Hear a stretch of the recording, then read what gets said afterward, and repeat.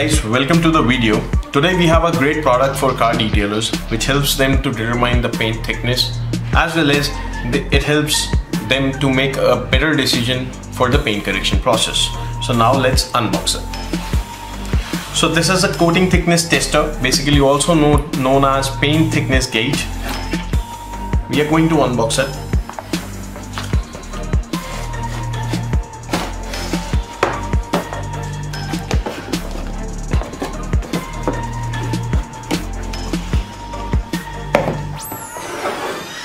This has a great packaging.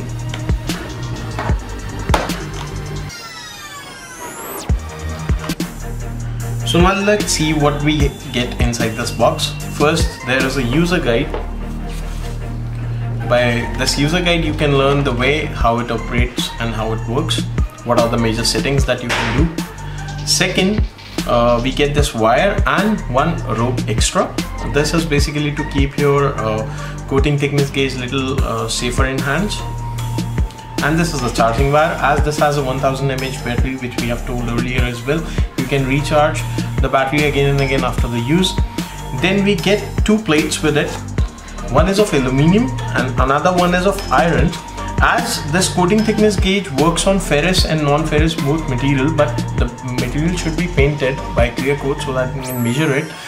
So we get both the plates with it we also get the calibration scales I'll show you by which the first time you have to calibrate this machine in order to check uh, the calibration of the coating thickness. So before going to use this coating thickness gauge I would like to tell you something about it. This is the most important device you a detailer should have before going for a paint correction. And uh, let me tell you why it is important because uh, it helps you to determine the paint thickness because every uh, different brand has a different uh, uh paint thickness. So it basically determines whether the paint is uh, what micron does the paint has what mil does the paint have and whether there is a variation in the different panels of the paint. And if there is a different variation in the panel of the paint you might can detect whether the panel one of the panel is repainted or not which helps you to determine your paint correction process as per the needs and the second most advantage of what I see in coating thickness gauges, you uh, people have now started using paint protection films as well. But usually they don't know which film they are buying at what micron. They do not have any meter or any measuring tool to measure it. It also helps you to determine the thickness of the paint protection film as well. So the major two advantages of uh, having a coating thickness gauge is it helps you to get the uh, paint thickness before to detail a car and second. When you're going to apply a paint protection film you can also test that paint protection film from the buyer you have purchased whether this is a good film or not. Even sometimes you see most of the experienced detailers as well have some difficulty in measuring the paint. So i recommend this to most of the experienced detailers as well. Use these kinds of tools which can help them to determine their paint uh, before detailing a car so now let's learn how to calibrate the machine in order to get the perfect uh, microns. So I'll just tell you how it will work. So first we have to go into the menu by clicking on the power button on the single time. After that click on calibration. Here it is the screen you can show. Uh, you can see that calibration. Just click on calibration. Don't go for zero calibration because we will going to do it on the base only directly so go for base calibration only. So as uh, most of the car metals are of iron so we are going to use the uh, ferrous material for the testing. First the base is clear. It is showing here 0 by 0 0 0.0 so that uh, put 0 by 0 calibra uh, calibration 0 0.0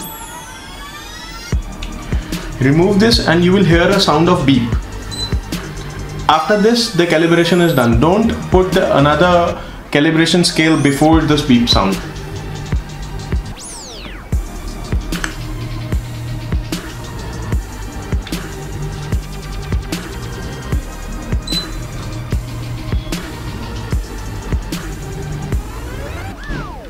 It will ask till 1500 microns. So here it is showing 102 and we have put it the sheet of 102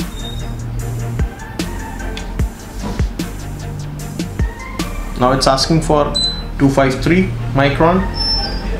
I'll show you. This is the sheet for 253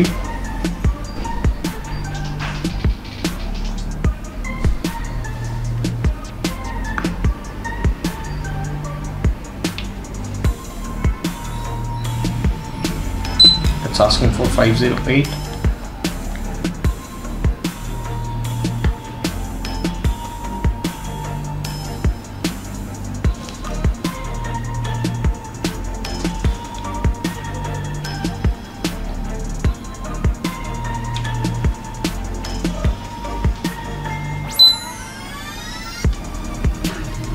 Alright, I'll ask for 993 micron.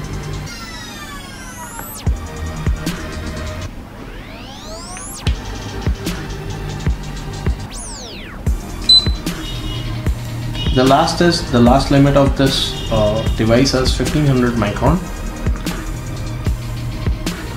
It will show the calibration has been completed. It will come back. So you can do same for the non-ferrous material like aluminum now we are going to put some test.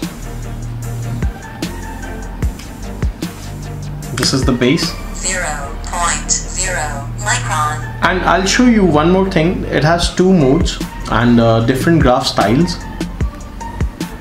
Here is the reading number of readings you want to take. L1 L2 I'll show you here. This is the uh, reading modes and everything it shows the main display when we put it scroll down it shows the number of readings we want to take. And here it comes the graph. I'll show you all the things after taking some readings. So I'll put a 50 micron sheet to test. Five, zero, so it shows 50.01 micron. I'll put it here. It shows the reading L1 0.0 and L2 is 50 50.0 when we'll change the reading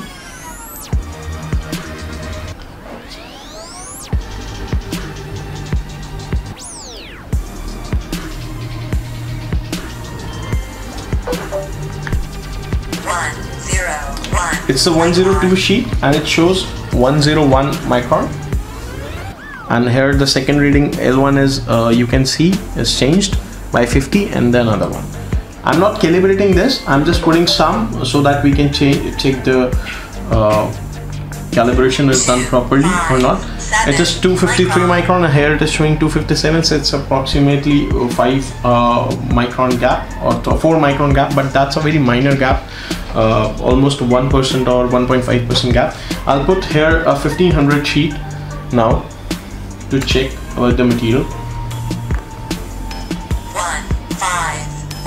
yeah here it shows 1540 micron and it is showing up uh, arrow because it cannot measure more than this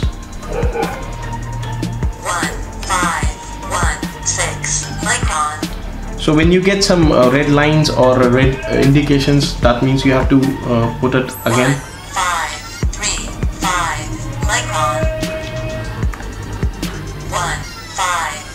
It's approximately a 1500 mm uh, coating. I'll now show the different types of reading you can see here as L1 L2 here we get the graph. You can see here uh, you I, I you can notice that graph has come after 15 microns or 102 micron we just shifted to 1500 microns so it shows the major difference. You can also check this in your car paint thickness as well the graph linings and then uh, you can see uh, the readings you have taken on every panel the graph it changes.